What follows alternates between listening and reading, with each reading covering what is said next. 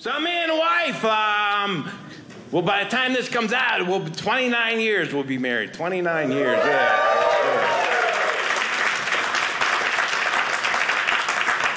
Yeah, you act like that's a major accomplishment. It's um, about 15 years in, we realized, yeah, no one else wants us anymore.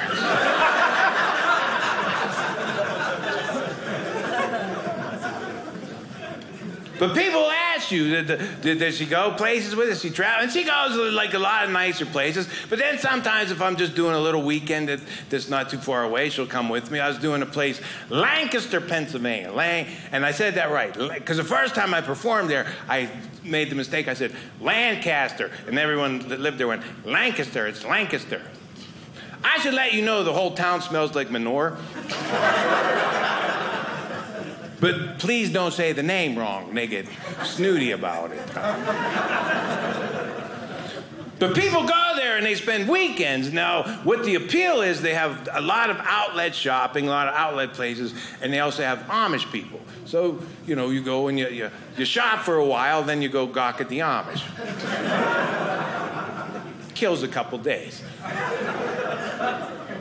So my wife is there with me, right? My wife's there, and we're in the hotel, and it's Saturday afternoon, and she's, she says, I'm bored. You don't have a show till tonight. I'm not going to sit here all day. Let's go do something. I said, Well, what do you want to do? So she starts looking through the travel magazine in the room, says, Hey, let's go to this place, the Big Amish Farm, right?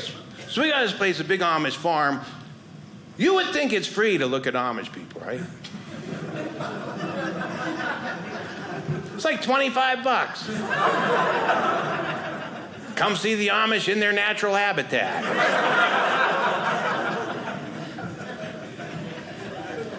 That's kind of cool. They're walking around and stuff. Hey, hey, there's one. Look, over there. Behind the tree. Be quiet. You'll scare them.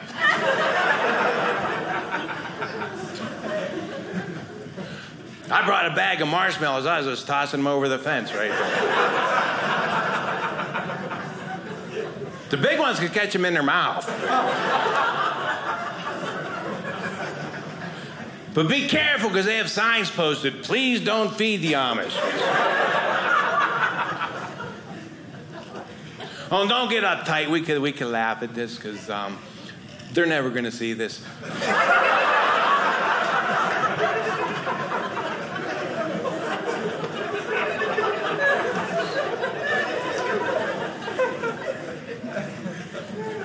And even if they did, what are they going to do? Come after me?